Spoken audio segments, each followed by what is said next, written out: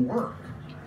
Uh, but conservatives would, I've actually met with some leading conservatives, and they, those who are realize this is not a hoax, they know that it's going to bite them as the public realizes that this was not a hoax. And so they would like it to be addressed with conservative principles, and that is let the market help you find uh, um, energies that are less carbon intensive and energy efficiency and things by putting this rising fee. And, long, and that's they, they say that is the conservative approach. And so it'd be nice if he would sit down with some conservatives and try to come to something because it is going to have to go through the U.S. Senate. And you can't, um, you know, you can't solve the problem without getting conservatives and liberals on the same page. And they're all, they all have children and grandchildren, and and uh, so it's possible. But we, you know, we have to we have to do it. Do you have another question? Oui. yeah. je, vais, je vais la poser en français. Yeah. Voilà. On a l'impression d'assister à un dialogue de sourds, en fait, et on est là pour parler d'un autre récit sur le climat. Est-ce qu'il n'y a pas euh, d'autres sciences, comme la psychologie sociale par exemple, ou d'autres interlocuteurs qui pourraient nous aider à sortir de ce cul-de-sac? How, can, how can uh, uh, social science uh, be of help in, uh, because you seem to have a, a dialogue with politicians, scientists versus politician, but do you have, I mean, hard sciences, how can social science help? Or do they? Yeah. Uh, well, it is a social problem, that's for sure. Uh, and how do we get these uh, people uh, to uh, to work together? I mean, in the U.S., it's just it's going to pop. You know, the the, the, the it's dysfunction. Our government in Washington is pretty dysfunctional. Um, I, I, I, I don't know. Uh, how can how can you change? I mean, how can you change mind? Because when you're talking about bringing the price of fossil fuel up by fee or tax or whatever, uh, you'll have to change mind because you'll have to change the way people behave. And the question is about psychology, you know, global uh, global psychology of of people. How, can they change they, their behavior? Yeah, and the thing is that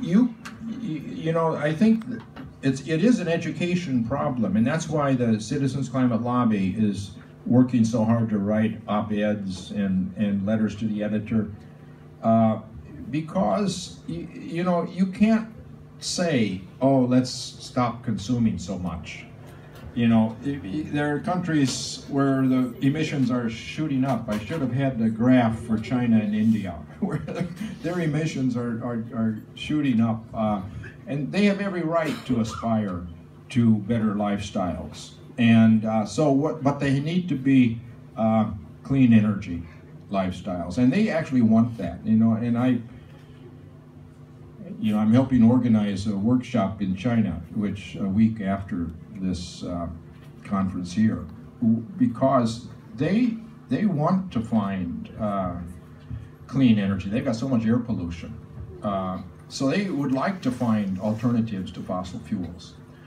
But um, you know, it, it is, uh, we, we, our public is not very well educated on this, and it's very hard because in the U.S. you have this constant advertisements. Every, every hour you can see a few of them from the fossil fuel industry saying, oh, look at us, we're now creating jobs in the U.S.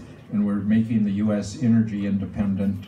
And they're doing it by fracking and by fracking for oil as well as for gas and the amount of oil and gas down there is enough to doom our children and grandchildren.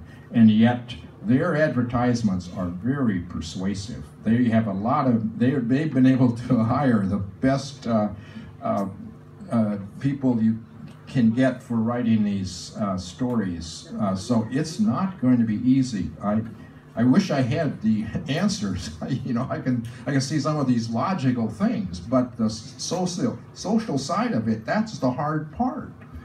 Um, yeah.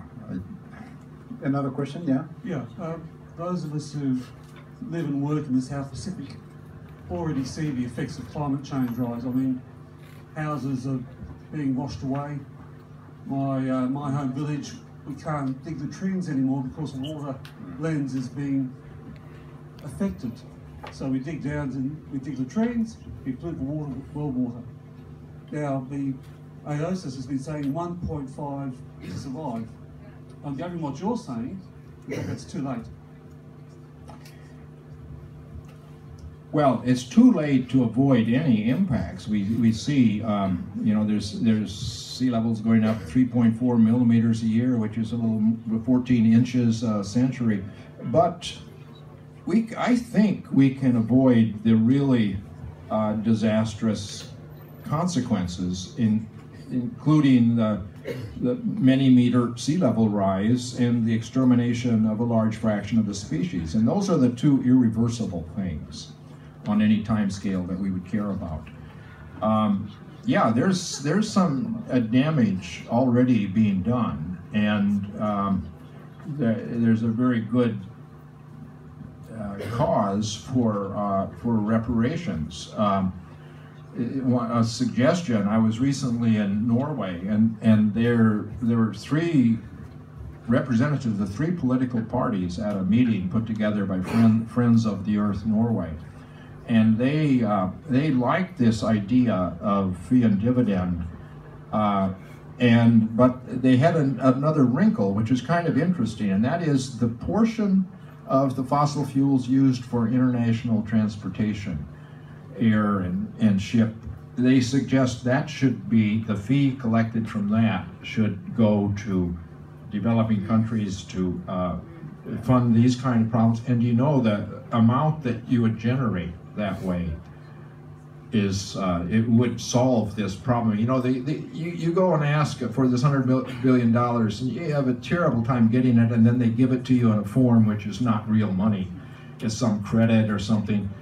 It's not going to work. You need an actual mechanism to regularly collect money, which and and uh, using the fee from the international transport piece, which is it's only a few percent, but it, it, comes out to hundreds of billions of dollars by the time it gets up to a reasonable uh, fee rate. Thank, thank you, Jim. Um, the, the, the topic of tonight was be clear. If there's any scientist who hasn't been clear and tried to tell us the truth, um, I, I can't find another.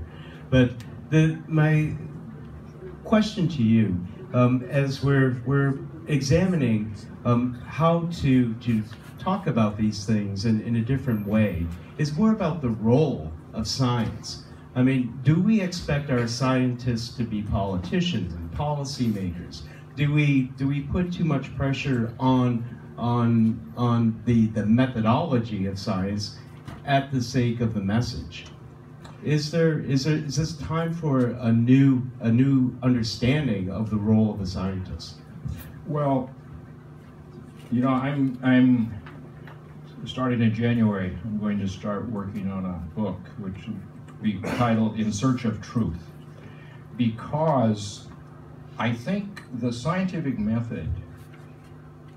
You know, a scientist is trained to be skeptical of his, of his own conclusions, and I was particularly lucky in the, where I, where I grew up as a scientist under Professor Van Allen, where he had the idea you had to make an original proposition and you know you, and then defend it before five professors, and you had no time to come up with something interesting which is going to be right because you're not going to suddenly think of a new new scientific uh, theory and have it be correct.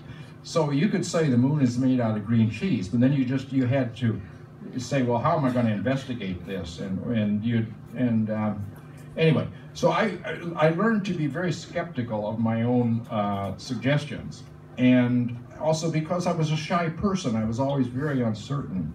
But that's that's not the way it's working in these sort of things politically. People come with an answer, and then they find as much evidence as they can to support that answer. That's not the way you do science. you are, you have to be very skeptical, and then and so and, and particularly in this problem, it covers such a range of things that you need the scientific method and you need to apply it correctly. And then you'll come to the conclusion, oh, that cap and trade is not going to work. And politician has some reason because it's got a lot of political levers. It lets them give uh, special favors to different people so they like it, but it's not going to work. Okay. Thank you very much, Vincent. Um, going to vote. Um, I'm sorry I have to stop this exchange. So